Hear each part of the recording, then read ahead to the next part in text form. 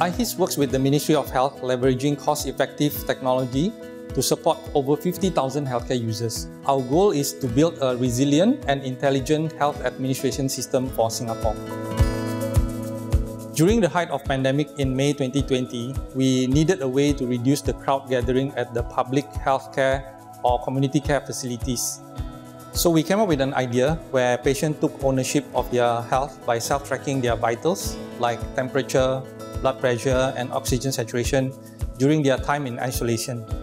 Uh, later on, clinician then can monitor this vital submission uh, remotely to do a clinical intervention. Therefore, a platform was created called Health Discovery, which is really about vital sign monitoring, or we just simply call it HD-VSM. We realized HD-VSM was applicable beyond COVID-19, uh, thus HD Plus was created. The core idea is still about empowering patients uh, support their primary and post-discharge care needs like basic hypertension, cardiac rehabilitation, diabetes management, and so on. Uh, we really need something agile uh, to set everything quickly yet scalable while not compromising the security aspect of our platform. And with many technology stack of IHIS built on Microsoft, this made Microsoft Azure an obvious choice to de uh, deploy our solution. So HD Plus improves efficiency. So the patient submits the vital signs via the mobile app and we are able to see them on our clinician dashboard and it appears color-coded in terms to the priority and urgency. Another feature allows us to survey patients via the mobile app and the required data appears on our dashboard.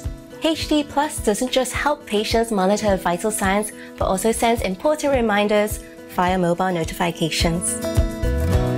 Overall, HD Plus helps community nurses to remotely monitor residents with hypertension and eliminates the manual transcription of BP readings into our medical records. This frees up the time for community nurses to focus on residents who require more care and support in the community. As of end May 2022, 80 enrolled residents had abnormal BP readings the HD Plus dashboard flagged them up to our community nurses who promptly followed up with the residents. More than 1,000 patients use HD Plus across 16 polyclinics to monitor their blood pressure using HD Plus mobile app.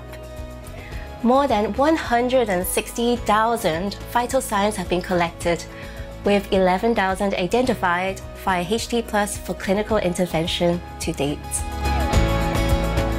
Our next priority is expanding to other use cases by developing what we call clinical protocols. At the end of the day, we want to help as many patients as we possibly can for a healthier nation.